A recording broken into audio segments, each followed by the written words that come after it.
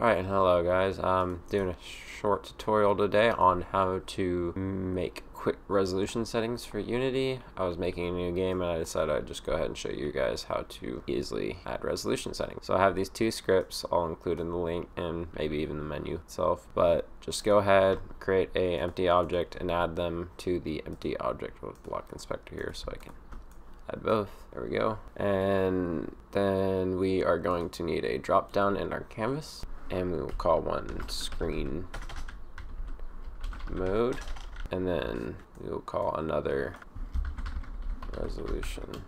Resolution.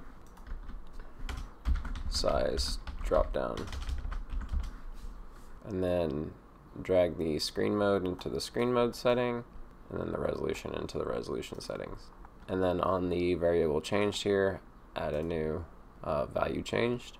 Take the resolution script then we will find screen mode settings for screen mode settings, set screen mode. Then for resolution size, do the same deal, but this time set resolution under resolution. And that's that's pretty much all you really have to do. The resolutions will drop down instantly. Let's say we got all, yep, and it will automatically detect your screen size. For the screen mode setting, all we have to do is match it with the script. So we'll go to, oops, that was the wrong project was copying it from a different project.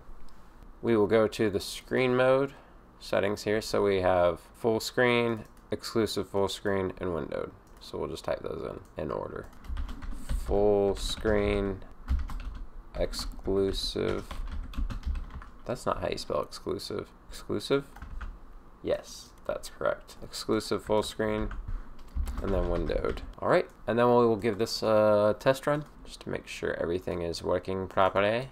All right, the resolutions work and might need to adjust the text size and stuff, but other than that, it's working as God intended. All right, thanks and hit the like button. Bye.